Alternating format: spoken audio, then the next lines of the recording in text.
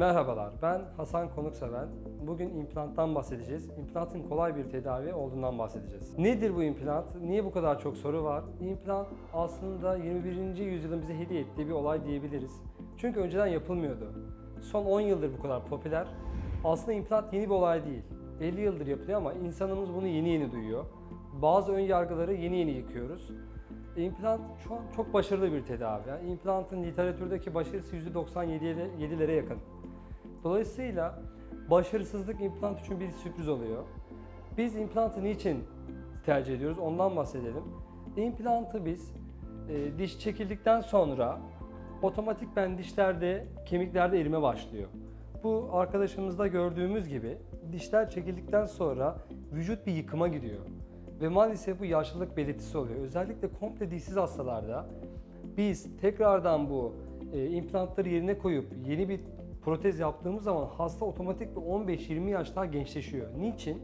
Çünkü şu dikey boyut dediğimiz olay gün geçtikçe azalıyor dişleri kaybettiğimizde ve kişiye yaşlı bir profil sergiliyor.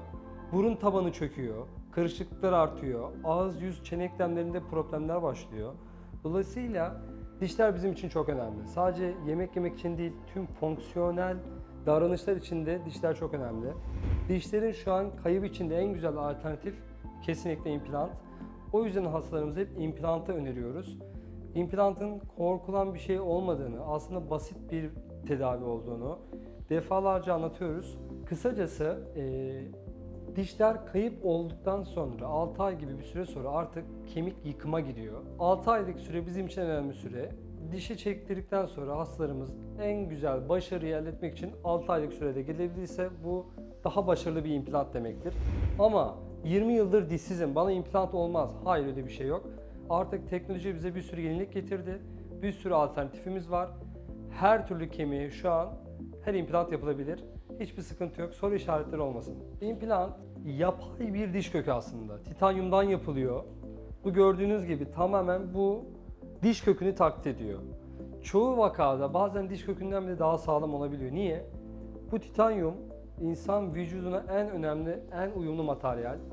İnsan bunu keşfediyor 1970'lerde. İsveçli bir bilim adamı keşfediyor ve bunu bize armağan ediyor aslında.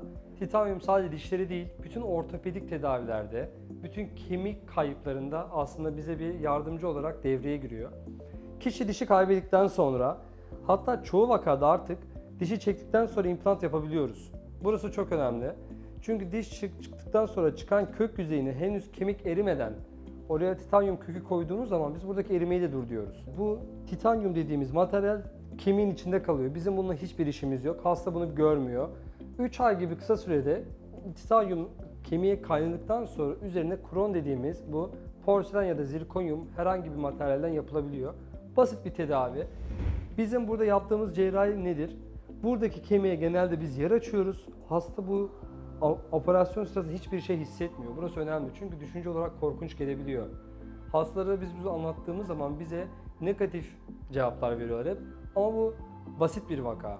Yani kolay bir tedavi. Hasta bu işlem sırasında hiçbir şey hissetmiyor. Bunda emin olabilirsiniz. Hastalarımıza hep şunu diyoruz. Çoğu zaman bir diş çekiminden aslında daha basit implant. İmplantta çünkü hiçbir dişe kuvvet uygulamıyoruz. Kemiğe herhangi bir kuvvet uygulamıyoruz ama diş çekerken bir kuvvet uyguluyoruz. Çoğu vakada hasta hatta ne zaman bitirdiniz, bitti mi diye şaşırabiliyor. Diş kaybı yaşadığı zaman vücut otomatik o boşluğu ka- e, kapatmak için uğraşıyor. Tabii ki bunu beceremediği için de bazı sıkıntılar ortaya çıkıyor. Biz her zaman implant yapamayız. Yani hekimler mucize beklemeyin. İmplant yaptırmak için belli başlı sebeplerimiz var, belli başlı nedenlerimiz var. Eğer çok fazla kemik yıkıma uğrarsa maalesef biz kemik implant yapamayabiliyoruz. O yüzden Böyle bir tedavi varken bu işi bekletmenin bir anlamı yok. Eğer hasta kendini ekonomik olarak da hazırlamışsa implantı yaptırmaması için hiçbir sebep yok. İmplant biraz maliyetli bir tedavi olabiliyor çünkü gerçekten titanyum maliyetli bir materyal ve ciddi bir emek, ciddi bir arge istiyor. Dolayısıyla tabii ki maliyetli ama yıllara vurursak bu maliyeti, kişinin yıllarca bunu kullanacağı düşünürsek aslında hiçbir şey değil. Bir telefonu bile 2 yılda 1 yılda bir değiştirdiğimize göre bir yıl, belki 15 yıl, belki 20 yıl kullanacağınız bir tedavi için aslında hiçbir şey değil. Ben Hasan Konukseven. Tabii ki şimdi veda zamanı. İmplantın korkulacak bir şey olmadığından bahsettim.